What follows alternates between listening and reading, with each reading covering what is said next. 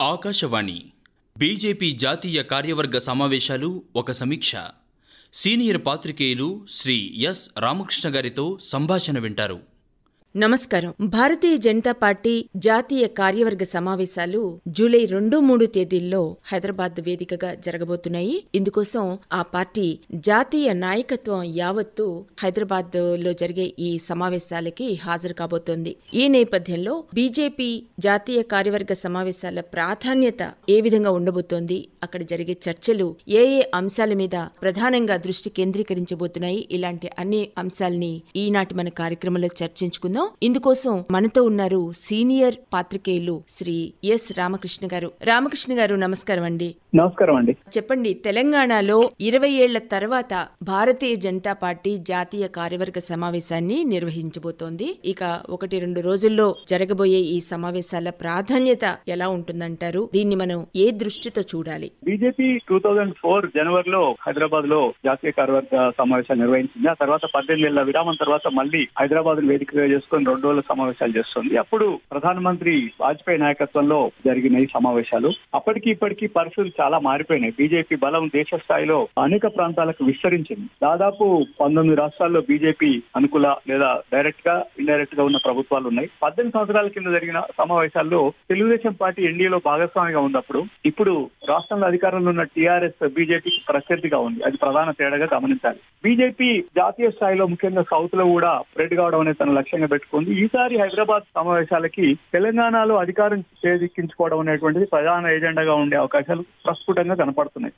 July మూడో తేదీ నాడు రెండో రోజు సమావేశాలు ముగిసిన తర్వాత ప్రధానమంత్రి పరేడ్ గ్రౌండ్లో ఒక బహిరంగ సభలో ప్రసంగించబోతున్నారు. దానికి దాదాపు విస్తృత స్థాయిలో పెద్ద ఎత్తున జనాన్ని సమీకరించాలని కూడా ఆ పార్టీ నాయకత్వం నిర్ణయించింది. సో ఇవన్నీ చూస్తుంటే తెలంగాణలో బలమైన ఫోర్స్ ఎదగడం బీజేపీ ప్రధాన ఎజెండాగా ఉంది. టూ థౌజండ్ నైన్టీన్లో జరిగిన ఎలక్షన్స్లో లోక్సభ ఎన్నికల్లో బీజేపీ నాలుగు ఎంపీలను గెలుచుకొని కాంగ్రెస్ మూడు గెలుచుకుంటే బీజేపీ నాలుగు గెలుచుకొని ప్రతిపక్ష శిబిరంలో అత్యధిక టాలీతో ఉంది. ఆ తర్వాత వచ్చిన రెండు అసెంబ్లీ బై ఎలక్షన్స్ కూడా బీజేపీ గెలుచుకోవడం డిహెచ్ఎంసీ ఎలక్షన్స్లో దాదాపు నలభై ఎనిమిది స్థానాలు కార్పొరేట్స్ని వాళ్ళు గెలుచుకోవడం ఇవన్నీ కూడా పార్టీకి చాలా ఉత్సాహాన్ని ఇచ్చే విషయాలు కన్సాలిడేట్ చేసుకోవాలనేటువంటి ఆతృత శ్రద్ధ పార్టీ నాయకత్వంలో మనకు కనపడుతుంది. ఇంకోటి ఏంటంటే ప్రధానంగా ఇటీవల కాలంలో బీజేపీ నాయకత్వం తీసుకున్న అనేక నిర్ణయాలకి ప్రజల నుంచి ఆమోదం లభించింది దేశ స్థాయిలో. ఉత్తరప్రదేశ్ ఎన్నికల్లో ఘన విజయం సాధించడం రాజకీయ తీర్మానంలో ప్రధానమంత్రిని అభినందిస్తూ ప్రధానంగా ఒక తీర్మానం ఉండే అవకాశం ఉంది. దీంట్లో యూపీ ఎలక్షన్స్ యూపీ కాకుండా ఉత్తరాఖండ్ మణిపూర్ గోవాలో కూడా బీజేపీ మళ్ళీ పవర్ రావడం మాత్రం ఎక్సెప్ట్ పంజాబ్. పంజాబ్లో ఆ పార్టీ ప్రధానమైనటువంటి ఫోర్స్గా లేదు. మిగతా నాలుగు రాష్ట్రాలకు గెలవడం తర్వాత తాజా తాజాగా యూపీలో ఈ మధ్యన రెండు మూడు రోజుల కింద వెల్లడైన ఫలితాల్లో రెండు సమాజ్వాదీ పార్టీ లోక్సభ స్థానాలను బీజేపీ కైవసం చేసుకోవడం ఇవన్నీ కూడా ఆ పార్టీకి చాలా బలాన్ని చాలా ఉత్సాహాన్ని సంతోషాన్ని ఇచ్చే అంశాలు. రాజకీయ తీర్మానంలో డెఫినెట్గా ప్రధానమంత్రిని జాతీయ నాయకత్వంలో ఉన్నటువంటి అమిత్ షా కేంద్ర హోంమంత్రి అదేవిధంగా పార్టీ అధ్యక్షుడు జేపీ నడ్డాని అభినందిస్తూ తీర్మానాలు ఆమోదించే అవకాశాలు కనపడుతున్నాయి. అదేవిధంగా రాష్ట్రపతి ఎన్నిక జూలై పద్దెనిమిది నాడు జరగబోతోంది రాష్ట్రపతి పదవికి ఎన్నిక. దాంట్లో ఆ పార్టీ బీజేపీ ప్రతిపాదించిన ద్రౌపది ముర్ము సునాయాసంగా గెలిచే అవకాశాలు కనపడుతున్నాయి. ఎందుకంటే ఆ పార్టీకి ఎన్డీఏ శిబిరంలో ఉన్న ఓట్ల కంటే అదనంగా కూడా కొన్ని పార్టీలు మద్దతు ప్రకటించడం కూడా బీజేపీ నాయకత్వానికి చాలా అనుకూల అంశాలుగా చెప్పవచ్చు. అంటే చాలా అప్బీట్గా ఉంది బీజేపీ మూడు ఇప్పుడు. అదే విధంగా జాతీయ భద్రతకు సంబంధించి ఆ పార్టీ ఒక తీర్మానం చేసే అవకాశాలు కనపడుతున్నాయి. ఇటీవల రాజస్థాన్లో జరిగిన ఒక దురదృష్టకరమైనటువంటి ఆ ఇన్సిడెంట్ ఆ ఇన్సిడెంట్లో ఒక పర్సన్ ప్రాణాలు కోల్పోవడం అతన్ని హత్య చేసిన వ్యక్తులకి సంబంధించిన మూలాలు కనుక్కోవడం కోసం ఎన్ఐఏని జాతీయ దర్యాప్తు సంస్థను ఆదేశించింది కేంద్ర ప్రభుత్వం. అంటే దీనికి పొరుగు దేశాల్లో ఉన్నటువంటి సంస్థలతో సంబంధాలు ఉన్నాయనేటువంటి విషయాలు వెలుగులోకి వస్తున్న నేపథ్యంలో జాతీయ కార్యవర్గం ఆందోళన వ్యక్తం చేస్తూ ఒక తీర్మానాన్ని పాస్ చేసే అవకాశాలు కూడా కనపడుతున్నాయి. ఇంకా ఆర్థిక విషయానికి వస్తే ఇటీవలే ప్రధానమంత్రి జీ సెవెన్ దేశాల సమ్మిట్ జర్మనీలో జరిగిన సమ్మిట్ నుంచి తిరిగి వచ్చారు. వస్తూ వస్తూ యూఏలో కూడా ఆయన కొద్దిసేపు ఆగి యూఏఈలో కొత్తగా రాదైనటువంటి వ్యక్తిని మన దేశానికి ఆహ్వానించారు. ఈ అంతర్జాతీయ పరిణామాల్లో భారతదేశం చాలా బలమైనటువంటి పాత్ర వహించబోతుంది ఆర్థిక తీర్మానంలో డబ్ల్యూటీఓలో కూడా భారతదేశం ప్రతిపాదించిన అనేక అంశాలకి పీయూష్ గోయల్ వెళ్ళారు కేంద్ర వాణిజ్య శాఖ మంత్రి. అక్కడ ఇండియా ప్రపోజ్ చేసినటువంటి అనేక అంశాలకి ప్రపంచ దేశాల మద్దతు రావడం అనేది బీజేపీ నాయకత్వం హర్షం చేస్తూ ఆర్థిక తీర్మానంలో ప్రవేశపెట్టే అవకాశం ఉంది. ఆర్థిక తీర్మానంలో ఎకనామిక్ తీర్మానంలో ఇంకొక అంశం ఏంటంటే ప్రధాన మంత్రి గరీబ్ కళ్యాణ్ యోజన కింద బీద వర్గాలకు ఇస్తున్నటువంటి రేషన్ దసరా వరకు కంటిన్యూ చేస్తూ ఒక నిర్ణయం ఆల్రెడీ ప్రభుత్వం తీసుకుంది. దీన్ని అభినందిస్తూ కూడా బీజేపీ జాతీయ కార్యవర్గం ఒక తీర్మానం ఆమోదించే అవకాశాలు కనపడుతున్నాయి వచ్చే కొద్ది రోజుల్లో కొద్ది నెలల్లో ముఖ్యంగా ఈ ఏడాది చివరిలోనూ వచ్చే ఏడాది కొన్ని రాష్ట్రాలు ఎన్నికలకి గుజరాత్ అండ్ హిమాచల్ ప్రదేశ్ జరగబోతుంది. ఆ ఎన్నికల్ని దృష్టిలో పెట్టుకుని వాళ్ళ ఎన్నికల వ్యూహాలని ఏమైనా చర్చించే అవకాశం ఉందంటారా? డెఫినెట్లీ రాజకీయ తీర్మానంలో ఇంటర్నల్ డిస్కషన్స్లో గుజరాత్ uh, అండ్ హిమాచల్ ప్రదేశ్ని రెండింటిని కూడా క్యాప్చర్ చేసుకోవాలని బీజేపీ నాయకత్వం చాలా బలంగా విశ్వసిస్తోంది. హిమాచల్ ప్రదేశ్లో గుజరాత్లో దాదాపు రికార్డ్ త్రీ టర్మ్స్ అయిపోయింది. ఆ పార్టీ అధికారంలో కంటిన్యూ ఉండి ఫోర్త్ టర్మ్ తీసుకొచ్చుకోవడం అనేది చాలా కొనసాగించడం అనేది చాలా గడ్డు సమస్యగా ఉంటుంది. అదేవిధంగా చాలా ప్రతిష్టాత్మకంగా కూడా ఉంటుంది. ప్రతిపక్ష కాంగ్రెస్ పార్టీలో ఉన్నటువంటి బలహీనతలు అనైక్యత అదే విధంగా ఇటీవల ఆ పార్టీ నుంచి కొంతమంది నాయకులు వెళ్ళిపోవడం అవన్నీ కూడా బీజేపీకి చాలా బలాన్ని చేకూర్చే విషయాలు. హిమాచల్ ప్రదేశ్లో పార్టీ చాలా పటిష్టంగా ఉంది. కాకపోతే అక్కడ ఫ్యాక్షన్ రిడన్ పరిస్థితులు ఉన్నాయి కాబట్టి వాటిని ఎట్లా సరిదిద్దుకోవాలి ఆ లోపాలని. హిమాచల్ ప్రదేశ్ లోనేమో సొంత ఇంటిని చక్కదిద్దుకోవడం ఫోకస్ చేసే అవకాశం ఉంది. గుజరాత్లో చాలా అనూహ్యంగా మరోసారి గెలవడం అనేది చాలా సుదీర్ఘకాలం బీజేపీ అక్కడ ప్రభుత్వంలో ఉన్న విషయం మనందరికి తెలుసు. ఇంకా కూడా ఫర్దర్ కన్సాలిడేట్ చేసుకోవాలంటే ఏం చేయాలి ఎట్లా చేయాలనేటువంటి వ్యూహాల మీద అక్కడ డిసెంబర్లో గుజరాత్ ఇంపార్టెంట్ ఎందుకంటే ప్రధానమంత్రి సొంత రాష్ట్రం అది. దేశంలో ఆయన ప్రతిష్ట ఎంత ఉన్నప్పటికీ ఎక్కడ ఉన్నప్పటికీ కూడా ఎన్ని కొత్త రాష్ట్రాలకి స్ప్రెడ్ అవుతున్నప్పటికీ కూడా గుజరాత్లో పవర్ ఉండడం అనేది ఆ పార్టీ చాలా ప్రతిష్టాత్మకంగా తీసుకుంటుందని చెప్పవచ్చు. సో బీజేపీ ఫోకస్ అంతా కూడా గుజరాత్ మీద ఉంటుంది. హిమాచల్ ప్రదేశ్ చిన్న స్టేట్ అయినప్పటికీ కూడా అక్కడ కొన్ని లూప్ హోల్స్ అంతర్గత విభేదాలు కొన్ని ఇష్యూస్ ఉన్నాయి. అంటే యూనిటీ నాయకుల మధ్యన యూనిటీ తీసుకురావడం ఇటువంటి వాటి మీద ఆ పార్టీ ఫోకస్ చేయొచ్చు. పక్కనే ఉన్నటువంటి ఆ సెన్సిటివ్ బెల్ట్ ఉంది. బార్డర్ స్టేట్గా ఉంటుంది కాబట్టి అది కాశ్మీర్ కంటే వెంటనే ఉండడం ఇటువంటి ఒక స్ట్రాటజికల్ ఇంపార్టెన్స్ భౌగోళికంగా ఇంపార్టెంట్ లొకేషన్లో ఉన్నటువంటి హిమాచల్ ప్రదేశ్లో కూడా ఆ పార్టీ ఉత్తరాఖండ్లో ఇటీవల గెలిచింది. హిమాచల్లో కూడా గెలిస్తే అధికారం సంపూర్ణమయ్యే అవకాశం కనపడుతుంది. డెఫినెట్గా పొలిటికల్ ఇష్యూస్ ఉంటే అట్లనే నెక్స్ట్ ఇయర్ ఎర్లీగా ఉండేటువంటి ఎలక్షన్ జరిగేటువంటి కర్ణాటకలో కూడా బీజేపీ రిటైన్ చేసుకోవడానికి ట్రై చేస్తుంది. కర్ణాటక నాయకత్వంతో కూడా సంప్రదింపులు జరిపే అవకాశం ఉంది. అట్లనే తెలంగాణ ట్వంటీ ట్వంటీ త్రీ చివరిలో జరిగే ఎలక్షన్స్ అవకాశం ఉంది. దాన్ని కూడా దృష్టిలో పెట్టుకొని తెలంగాణ నాయకత్వాన్ని కూడా పెద్ద ఎత్తున అసలు దానికి హైదరాబాద్లో ఈ కీలక సమావేశాలు నిర్వహించడం వెనుక ప్రధాన ఉద్దేశమే తెలంగాణలో క్యాప్చర్ చేయడం అని చెప్పేసి విశ్లేషకులు భావిస్తున్నారు. ఈ నేపథ్యంలో తెలంగాణ టాప్ ప్రయారిటీలో ఉంటుంది. ఆంధ్రప్రదేశ్లో ప్రస్తుతానికి లేకపోవచ్చు ఆ పార్టీ పవర్లోకి రావాలని కర్ణాటక తెలంగాణ డెఫినెట్గా బీజేపీ రాడార్లో టాప్ ప్రయారిటీలో ఉన్నాయి. Gujarat of course immediately on the agenda తర్వాత హిమాచల్ ప్రదేశ్ గుజరాత్లో ఎన్నికలే జరగబోతున్నాయి. కర్ణాటక అండ్ తెలంగాణలో మాత్రం ఆ పార్టీ పవర్లోకి రావడానికి కావాల్సిన కీలక అంశాల మీద దృష్టి పెట్టబోతోంది.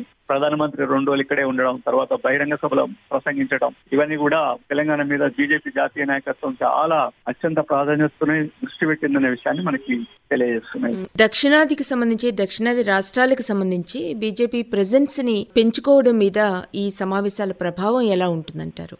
దక్షిణాదికి సంబంధించి అదే హైదరాబాద్లో జరిగే సమావేశాలు దక్షిణాది మొత్తాన్ని కూడా రివ్యూ చేసే అవకాశం ఉంది. ఒకప్పుడు మనం తీసుకుంటే టూ థౌసండ్ ఫోర్లో జరిగిన జాతీయ రాజకీయాలప్పుడు అద్వానీ స్వయంగా ప్రస్తావించారు. ఏంటంటే సౌత్ ఆఫ్ ఇండియాలో మాకు చాలా సమస్యగా ఉంది. మనం మేము ఎట్లా పవర్లోకి రావాలని మాకు ప్రధానంగా ఆ రోజు దక్షిణాది రాష్ట్రాల్లో బీజేపీ బలం అంతంత మాత్రమే. కానీ వాళ్ళ దక్షిణాది రాష్ట్రాల్లో ఆల్రెడీ కర్ణాటకలో పవర్లో ఉంది. అండ్ తెలంగాణలో ఫోర్స్ గానే ఉంది. కాంగ్రెస్తో పాటు అది కూడా ఒక ప్రధాన ప్రతిపక్ష పాత్ర వహిస్తుంది. తమిళనాడులో ఆ పార్టీ బలహీనంగానే ఉన్న విషయాన్ని ఆ జాతీయ నాయకత్వం అడ్మిట్ చేస్తుంది. ఎందుకంటే అక్కడ ఇంకా పుంజుకోవాల్సిన అవసరం ఉంది. కానీ అక్కడ ప్రాక్సీ పార్టీలు అంటే అలైన్స్ ఏఐడిఎంకేలోని ఏదో ఒక వర్గంతో ఓ పన్నీర్ సెల్వన్ వర్గంతో ఆ పార్టీ చేతులు కలిసే అవకాశాలు కనపడుతున్నాయి. ఎందుకంటే రాష్ట్రపతి అభ్యర్థి కూడా ద్రౌపది ముర్ము నామినేషన్ చేసే సమయంలో పన్నీర్ సెల్వన్ అక్కడ అటెండ్ అయ్యారు. సో ఏఐడిఎంకే ఫ్యాక్షన్స్ తోని ఒక పొత్తు పెట్టుకొని తమిళనాడులో దాన్ని ఎగ్జిస్టెన్స్ని స్ప్రెడ్ చేసుకునే అవకాశం కనపడుతుంది. కేరళలో అఫ్ కోర్స్ బీజేపీ ఎప్పటి నుంచో లెఫ్ట్ ఫ్రంట్ ఇటు యూడిఎఫ్ ఎల్డిఎఫ్ తోని పోటీ పడుతుంది. ఓట్ల పెరుగుదల చాలా తక్కువ ఉన్నప్పటికీ కూడా అక్కడ ఒక ఫోర్స్గా ఉండాలనేటువంటి లక్ష్యంతో పనిచేస్తున్నారు. దాన్ని ఇంకా ఫర్దర్ ఎట్లా కన్సాలిడేట్ చేసుకోవాలనేది బీజేపీ నాయకత్వం దృష్టిలో పెట్టవచ్చు బహుశా సిపిఎం నాయకత్వంలో ఉన్న ప్రభుత్వంతో పోరాడే విషయంలో బీజేపీ ఎప్పుడూ ముందుంది.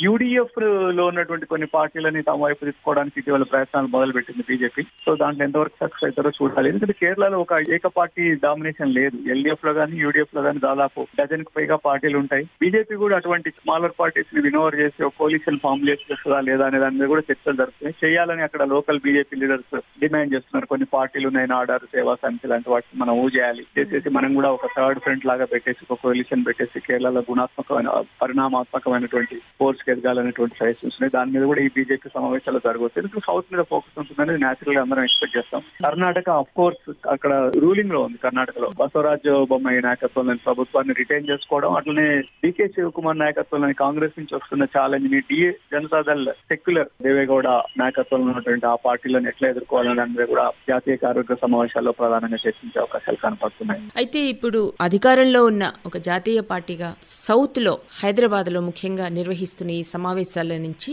ముఖ్యంగా విపక్షాలకి ఎలాంటి సందేశాలు అందే అవకాశాలు ఉన్నాయంటారు తెలంగాణలో ప్రధానంగా బీజేపీ డామినెంట్ ఫోర్స్ ఎదగాలని ట్రై చేస్తుంది. చాలా ఓపెన్ కనపడుతుంది. కొంతకాలంగా Huzurabad assembly by election last year నవంబర్లో జరిగిన ఎలక్షన్ తర్వాత నుంచి బీజేపీ పుంజుకుంది. ఎందుకంటే ఇక్కడ రూలింగ్ టీఆర్ఎస్ రెండోసారి అధికారంలో ఉంది. పది సంవత్సరాలు కంప్లీట్ చేసుకుంటుంది ట్వంటీ ట్వంటీ త్రీ నవంబర్ కల్లా. ఈ లోపు బీజేపీ కాంగ్రెస్ ప్రధాన పార్టీగా ఉంది ఇక్కడ. ప్రధాన ప్రత్యర్థిగా ఉంది టీఆర్ఎస్కి ఆ స్థానాన్ని కాంగ్రెస్ నుంచి లాక్కోవడం ఫస్ట్ బీజేపీ ఎజెండాలో నెంబర్ వన్గా ఉంటుంది. తర్వాత నెంబర్ టూ స్థానానికి ఎదగడం. ఇప్పుడు నెంబర్ త్రీ గా ఉన్న బీజేపీ లోక్సభ ఎన్నికల్లో వచ్చినప్పటికీ కూడా అంతకన్నా ముందు జరిగిన అసెంబ్లీ ఎన్నికల్లో బీజేపీ కేవలం ఒక సీట్ మాత్రమే గెలుచుకుందన్న విషయాన్ని మనం గోషామాల్ స్థానం మాత్రమే గెలుచుకుంది. తర్వాత దుబ్బాకతో రెండు స్థానాలు పెరిగింది హుజూరాబాద్తో మూడు అసెంబ్లీ స్థాయి అసెంబ్లీలో చాలా బలహీనంగా నామమాత్రం ఉంది బీజేపీ. అసెంబ్లీలో పవర్లోకి రావడం బీజేపీ ప్రధాన ఉద్దేశం. లోక్సభ ఎన్నికలకు వచ్చేసరికి ఎయిటీన్ డిసెంబర్లో జరిగిన అసెంబ్లీ ఎలక్షన్స్లో దాదాపు ఒక స్థానం వచ్చిన బీజేపీ. తర్వాత ఏప్రిల్ మే లో జరిగినటువంటి నైన్టీన్ ఎలక్షన్ లో నాలుగు లోక్సభ స్థానాలు గెలుచుకుంది లోక్సభకు వచ్చేసరికి బీజేపీ అప్పీల్ చాలా విస్తృతంగా కనపడుతుంది. దీనికి ప్రధాన కారణం మోడీ నాయకత్వం మోడీ ప్రధానమంత్రిగా ఉండాలని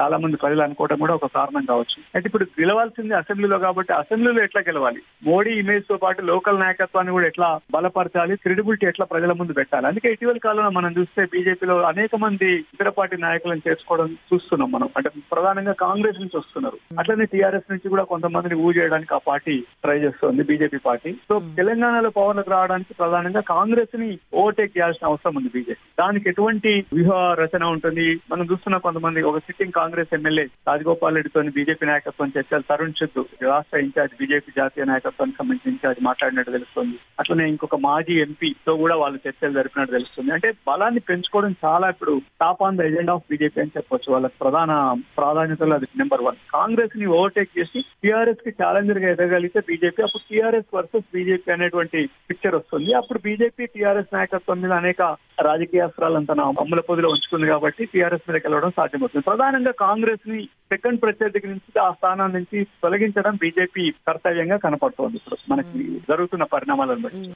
మొత్తం మీద దాదాపు రెండు దశాబ్దాల తర్వాత హైదరాబాద్లో జరుగుతున్న ఈ జాతీయ కార్యవర్గ సమావేశాల మీద అంతర్జాతీయంగాను జాతీయంగాను అందరిలో ముఖ్యంగా మీడియాలో ఉత్సుకత కనిపిస్తోంది ఆసక్తి కనిపిస్తోంది. అయితే ఈ రెండు రోజుల పాటు పార్టీ అత్యున్నత నాయకత్వం ఇక్కడ హైదరాబాద్లో ఉండి పార్టీ వ్యూహాలపై జరిపే మేధోమంథనం ఎలా కొనసాగబోతోంది అలాగే వాటి ప్రభావం జాతీయ రాజకీయాలపైన ముఖ్యంగా తెలంగాణ అలాగే దక్షిణాది రాష్ట్రాలపైన ఎలా ఉండబోతోంది అనేది ఆ చర్చల సారాంశం బయటకు వచ్చిన తర్వాత మనకి తెలుస్తుంది. అందుకోసం మళ్ళీ ఆ సమావేశాల అనంతరం మరోసారి ఈ చర్చా కార్యక్రమంలో కలుసుకుందాం. అంతవరకు సెలవు. నమస్కారం.